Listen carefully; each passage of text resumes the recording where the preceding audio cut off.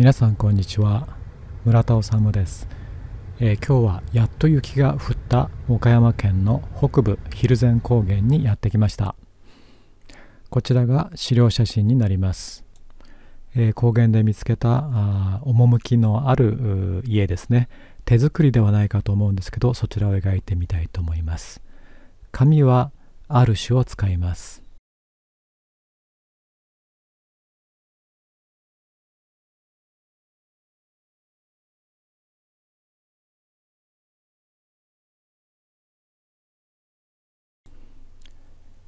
えー資料写真に忠実に下書きをゆっくりしていきたいと思っています。あまり自分の世界を作るというよりも今回は、えー見たまんまをそのまま忠実に書いていきたいなと思っています。木も丁寧にそのまま自然のままというか自然を大事にですね書いていきたいと思います、えーここから早送りにします。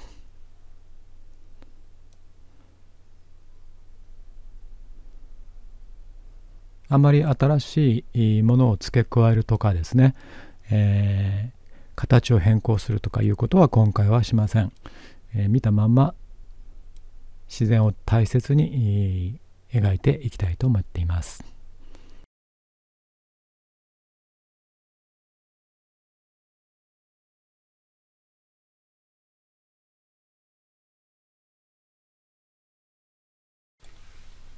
下書きができたので着色していきます。絵の具はウィンザーニュートンですね。それから筆は書道用の筆を使っています。まずあの上の方からいきますね、えー先に湿らせないでもう多めに水をつけてですね、えー描いていきたいと思います。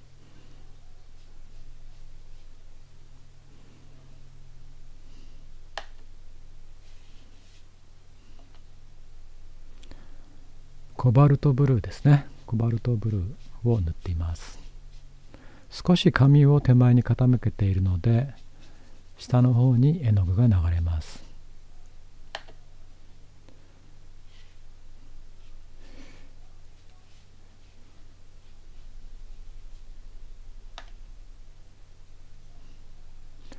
えー普段だったらもう少し混色してから塗るんですけど今日はもうコバルトブルー一色で単色で塗っています。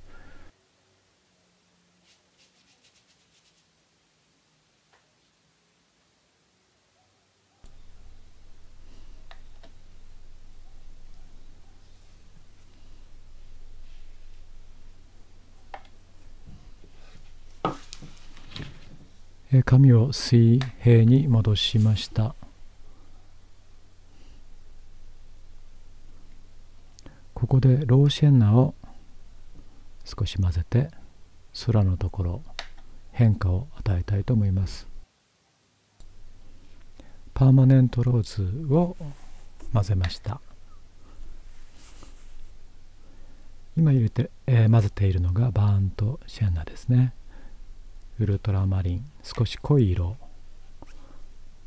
を作りたいと思いました。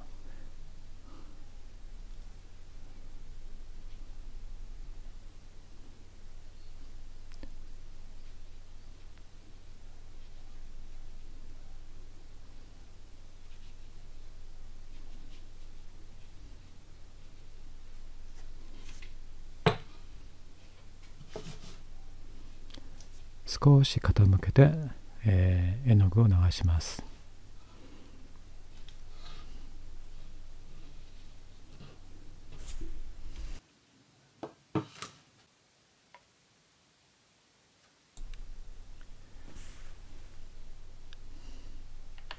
家の手前にある植物のところですね。ローシェンナを混ぜて使っています。バーンとシェンナを後から濡れているローシェンナの上に紙の上で垂らし込みをしています。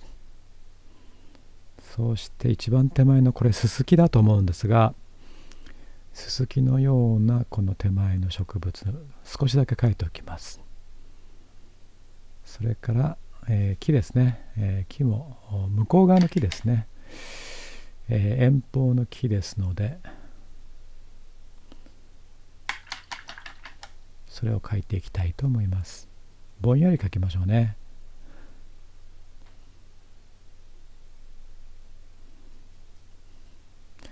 えー、今回ねパレットの方別カメラで撮影したものをなるべく分かりやすくお見せできればなと思って、えー、右の方にパレットをしっかり写しています。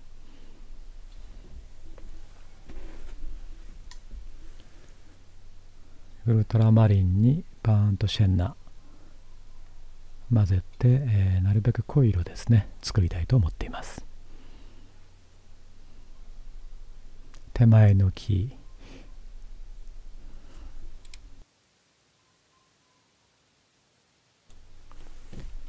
えー、木は小筆で塗っています。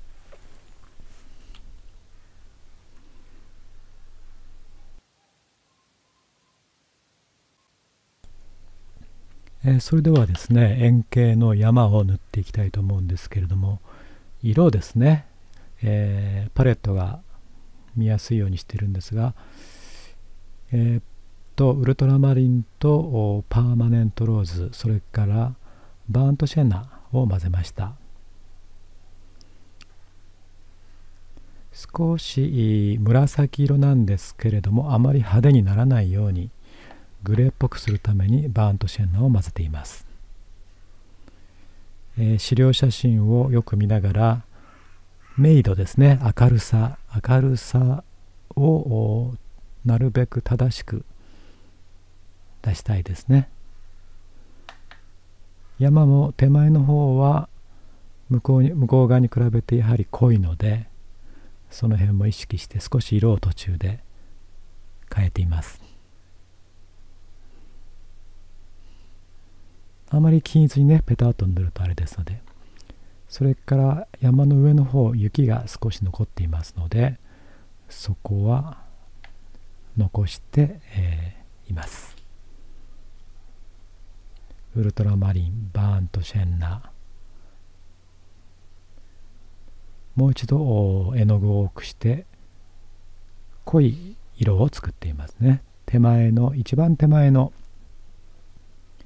これ木の部分なんですがそれはだいぶ濃いので、えー、筆を点々点とやってこう絵の具をね、えー、たくさん貯めるよう貯めるというか絵の具を落とすようにしています。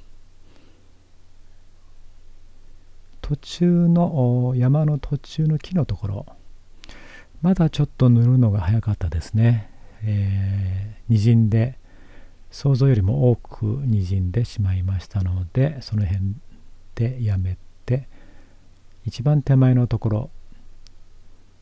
これかなりね絵の具を追加しないと濃くなりません。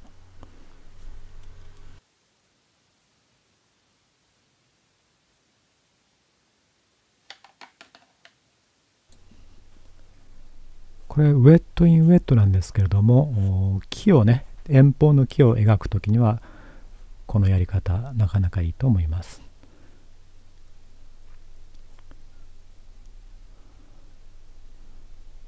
それから山の手前の方。やはり麓の森ですかね。左側の方も少し濃いめの濃いめの絵の具を塗っておきます。それから左側のもう少し手前の木ですね。これもほぼ同じ色で塗っていきますね。今回は雪景色ですので色がねあのモノトーンですのであまりいろいろな色は混ぜません。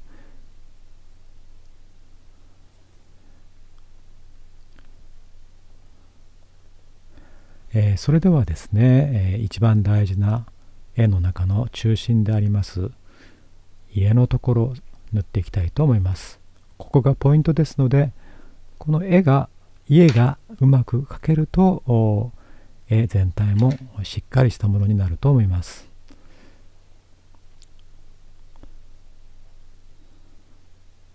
やはり一番薄いところから塗っていきますね。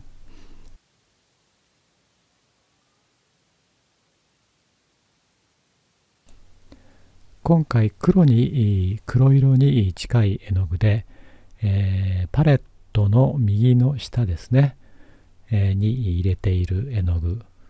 ニュートラルティントという絵の具を入れて使っています。本当に暗いところに使います。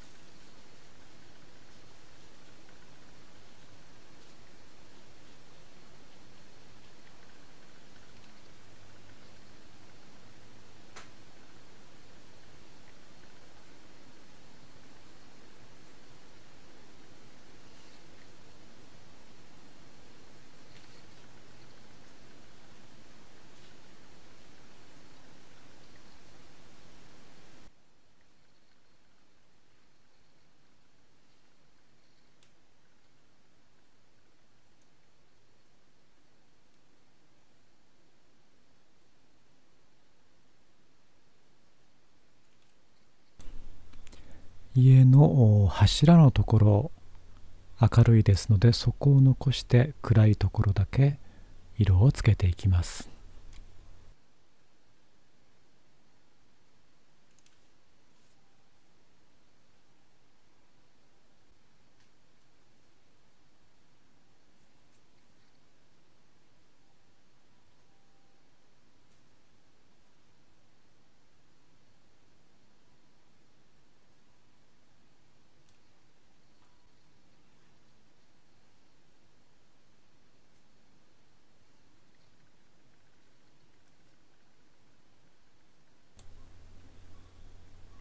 えー、左側の家も日差しの下のところだいぶ暗いですね、えー、まだ先ほど塗った絵の具が乾いていませんので暗い絵の具を上から垂らし込んでいます。ウェットインウェットですね。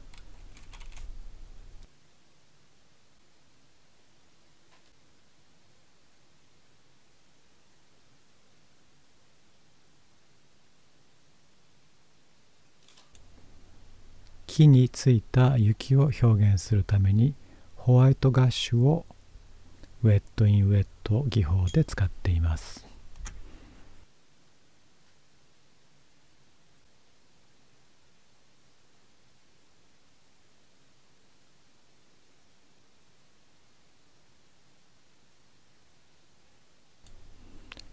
こうした枝も丁寧に描いています。それからもう一度濃いところ。付け加えています。山の雪のところが少し白白さが足りないのでこれはリフトアウトですね。リフトアウトを使って、えー、絵の具を取って白くしました。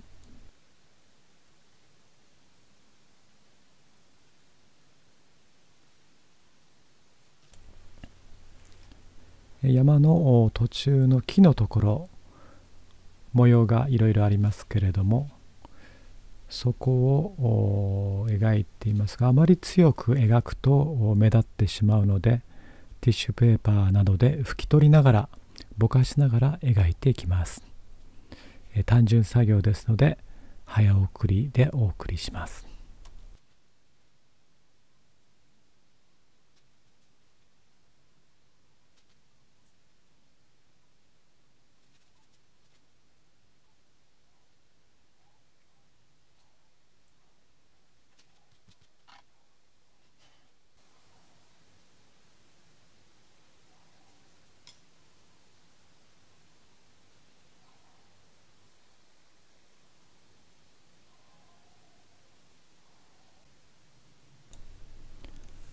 はい、それでは手前の木のところを丁寧に描いていきましょう。今回ですね、この大事な部分は家の部分とそれからこの左側の木ですね、え資料写真をよく見て丁寧に描いていきたいと思います。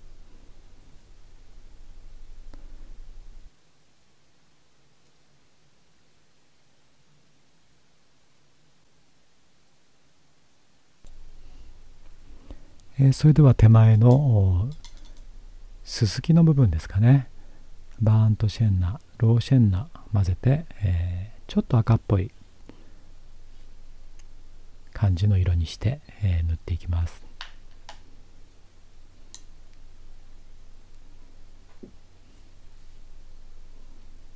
こう勢いをつけてこれは勢いをつけて、えー、線を描いた方がいいと思います。ゆっくりゆっくり描くとちょっと弱い線になってしまいますよね。まあ慣れれば全然難しくないと思います。はい、えー、ここも単純作業になりますのでちょっと早送りしますね。少し雪の影の部分も描いています。あまり資料写真資料写真と同じぐらいの本数を書く必要は全くないです。ちょっと少なめぐらいがいいと思います。うるさくなりますよね、絵が。ちょっと岩が出ているところですね。雪の間に地面が出ているところも丁寧に描いていきましょう。それから雪のちょっと凸凹ですか？影がありますのでよく見ると影がありますので薄いグレーで描いています。この薄いグレー薄いグレーを使うというのはね、えー、結構いいいいですよ。あの薄いグレー薄い明度のものを描くというのはいいと思います。絵がね上品になりますしあまり強い色ばかりですと下品な色になり下品な絵になりますよね。この薄い明度の差本当に細かい明度の差が分かるようになるととてもいいんじゃないかと思います。最後にガッシュを雪の代わりに雪を表現するために飛ばしました。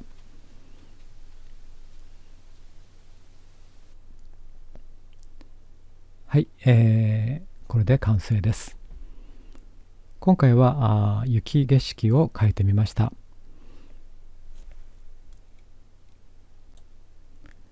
えー、普段はね雪景色なかなか描けませんけれどもやっと雪が降りましたので、えー、雪を見に雪を描きに行ってきました、えー、ここまでご覧くださりどうもありがとうございました、えそれでは皆さんまた次回お会いしましょう。水彩画で幸せになってください。